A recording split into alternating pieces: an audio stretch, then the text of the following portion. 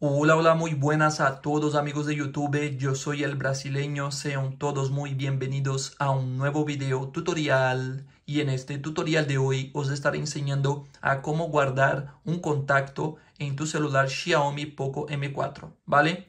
Dicho esto chavales, empecemos. Lo primero que vamos a hacer será hacerle clic aquí a este icono, ¿vale?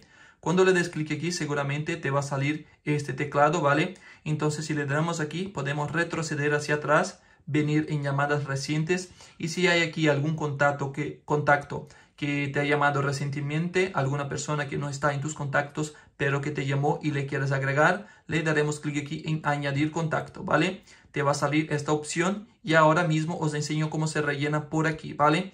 Esta sería la primera opción. La segunda opción sería darle clic aquí en este teclado donde hemos venido aquí al principio y ahora si quieres agregar esta persona, ¿vale? Puedes poner el número de su teléfono. Recordar que delante del número del teléfono de la persona tendrás que poner el código del país. Cada país tiene un código. Por ejemplo, Brasil sería más 55, España sería más 34. Entonces tienes que poner el código del, del país y luego el número de teléfono de la persona. En este caso yo vivo en España. Pondría, vamos a presionar el 0 y mantenerlo presionado. Ah, va a salir un más y voy a poner más 34 y ahora el teléfono de la persona. Vamos a inventarnos un teléfono. Bueno, nos hemos inventado un teléfono. Le damos clic aquí ahora en crear contacto, crear nuevo contacto, ¿vale? Y aquí ya sale el teléfono de la persona, ¿ok? Entonces venimos aquí en nombre, ponemos un nombre, cualquier cosa, ¿vale?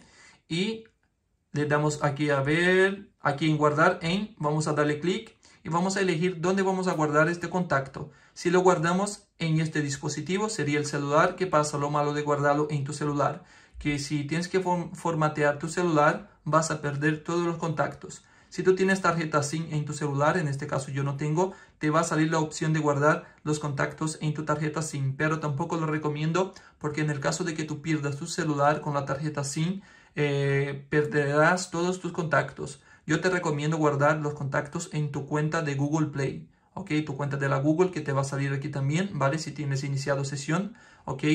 Entonces selecciona para guardar en tu cuenta de Google. Así siempre que inicies con tu cuenta de Google en un celular nuevo, te va a salir todos tus contactos que están guardados en la cuenta Google, ¿ok? Entonces, bueno, aquí lo mismo que os comenté. Aquí delante, vale, déjame salir de aquí. Aquí delante eh, el número de teléfono. Vamos a poner más 34 y vamos a poner el teléfono de la persona, ¿vale? 610 887 965.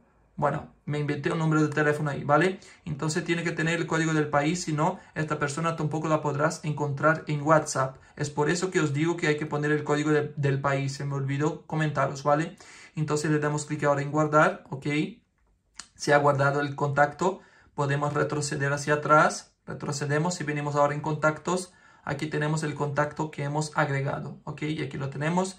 Podéis hacerle clic ahora para llamar a este contacto. Y ya está chicos, este fue el tutorial de hoy. Si te ayudé, por favor no te olvides de poner al menos un me gusta al video. Si es posible, suscríbete al canal. Un saludo a todos, chao chao y nos vemos en el próximo video tutorial.